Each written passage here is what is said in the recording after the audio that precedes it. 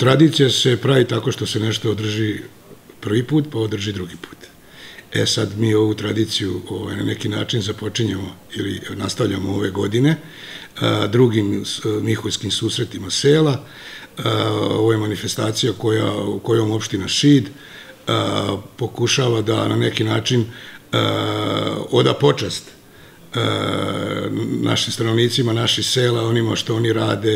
e, čime se bave i gde ih okuplja na jednom mestu svake godine u drugom selu, e, gde, gde mogu da prikažu ovaj, sve to na svojim štandovima,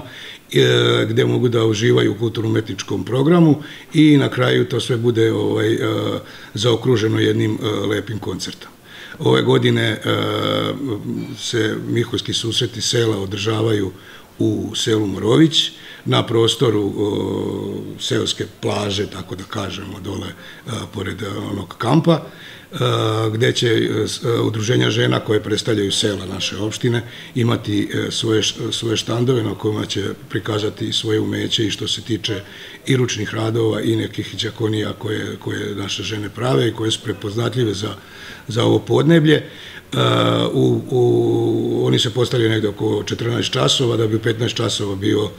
svečano otvaranje manifestacije. Jedan deo kulturno-mečkog programa će biti na samom otvaranju i onda dalje tokom dana će nas zabavljati i pokazati šta znaju i umeju, pre svega kulturno-umetnička društva iz naših seoskih sredina, ovoga puta to će se predstaviti kulturno-umetnička društva domaćina Morovića,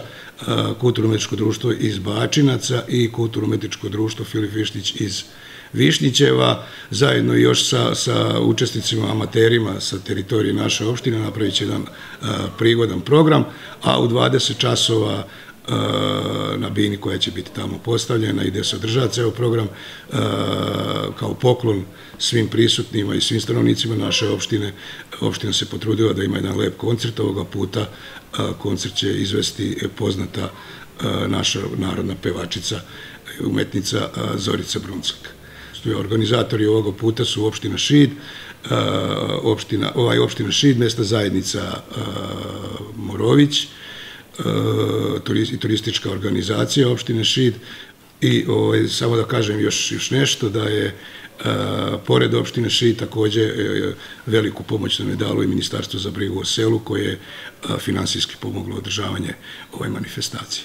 Ovim putem pozivam, kažem, sve, sve naše građane da se odazovu i da prisustuju ne samo koncertu, već celodnevnim aktivnostima koji će tamo biti.